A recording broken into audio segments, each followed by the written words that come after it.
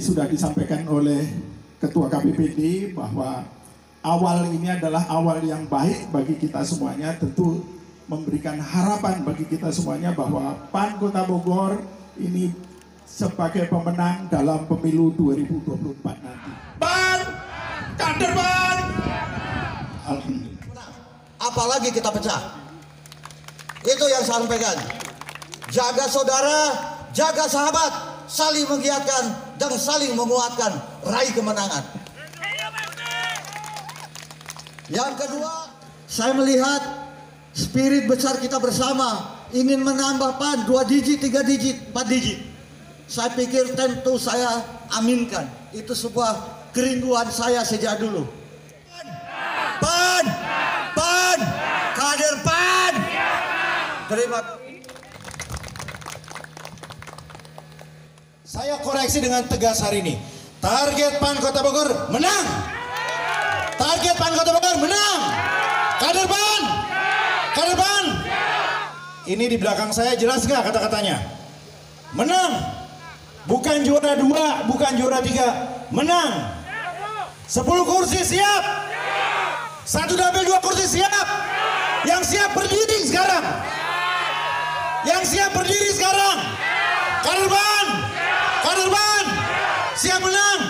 Terima kasih tepuk tangan untuk. Banyak terima kasih atas semangat yang ditunjukkan, atas kekompakan yang bisa kita eh, galang bersama-sama. Mudah-mudahan 2024 itu merupakan titik tolak dan seperti yang bilang Kang, Kang Bima, di antara kita semua ini ada calon ketua DPRD kita. Di antara kita ini ada calon wali kota kita ke depannya. Itu saja yang bisa saya sampaikan. Eh, mungkin sebagai penutup, jalan-jalan ke Mulia Harja Cakep. ingin ketemu aura kasih. Cakep. Cukup sekian dan terima kasih. Wabillahi taufiq wal hidayah. Assalamualaikum warahmatullahi wabarakatuh.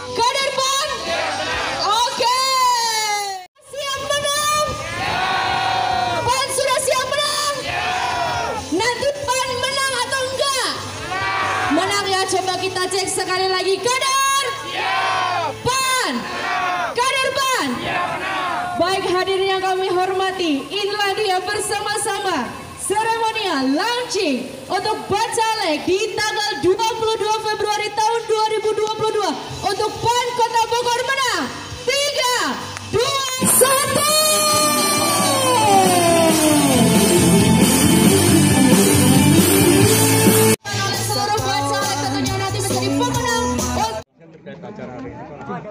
Ya hari ini eh, kami eh, datang hadir mewakili DPP PAN eh, juga selaku eh, anggota DPR RI dari Dapil Kota Bogor dan Kabupaten Cianjur untuk launching eh, pencalegan dini ya pencalegan secara resmi di Kota Bogor eh, yang memang merupakan bagian dari rangkaian kegiatan DPP PAN di seluruh Indonesia. Nah, tetapi di sini istimewa sekali karena kita lakukan dalam eh, kondisi di mana kita betul-betul berada di alam, kita betul-betul menghadirkan seluruh eh, kader kita, seluruh caleg kita, baik caleg yang sudah siap maupun mereka-mereka yang sekarang baru masuk ke PAN. Dan ini adalah darah segar, vitamin baru untuk PAN karena mereka adalah caleg-caleg berkualitas, muda, ya memiliki produktivitas tinggi dan mudah-mudahan menjadi caleg-caleg yang nanti akan memenangkan kursi-kursi. Nah, kita hari ini eh, mengapresiasi bahwa semangat yang di eh, yang disampaikan oleh eh, wali Pak Wali Kota yang juga merupakan ketua DP DPP PAN ya Pak Kang Bima Arya bahwa PAN itu di Kota Bogor bukan hanya sekedar ingin eh, menang saja tetapi menjadi pemenang menjadi pemenang untuk merebut eh, kemenangan dan menjadi pemenang pemilu di tahun 2024. Jadi ini target kita dan saya bangga bahwa pada hari ini kita bisa menghadirkan caleg-caleg unggulan kita untuk meraih eh, kemenangan di pemilu 2024 khusus untuk Kota Bogor. Menyempatkan jaket kepada seluruh rekan-rekan Bacalek yang akan berlaga di tahun 2002 di tahun 2024 tujuh tahun sebagai kader PAN saya berikhtiar di Kota Bogor.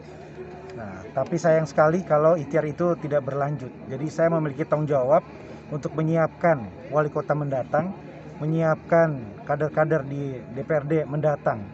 Jadi ini adalah bagian dari ikhtiar untuk menjaga kesinambungan pembangunan Kota Bogor, visi yang sudah kita kuatkan gitu. Nah, langkah-langkahnya harus sistematis. Karena itu kita mulai menyiapkan anggota-anggota DPRD, calon anggota-anggota DPRD yang akan turun selama dua tahun ke depan. Saya sangat optimis uh, melihat pemetaan di lapangan, melihat respon dari publik. Uh, kita terus membuka uh, kepada seluruh warga Kota Bogor, anak-anak muda dari latar belakang yang beragam untuk bergabung menjadi caleg yang akan kita seleksi untuk mengisi formasi uh, 50 ya? 50. 50 ya, mengisi formasi 50 caleg DPRD Kota Bogor. Target sangat optimis dan realistis dua kursi di masing-masing dapil. Ini berdasarkan data suara kita, berdasarkan potensi caleg yang ada juga. Nah, dari situ kalau DPRD nanti targetnya kita uh, uh, capai, maka menjadi landasan bagi kita untuk mencalonkan wali kota Bogor di periode berikutnya di 2024 bulan November. Kalau untuk uh,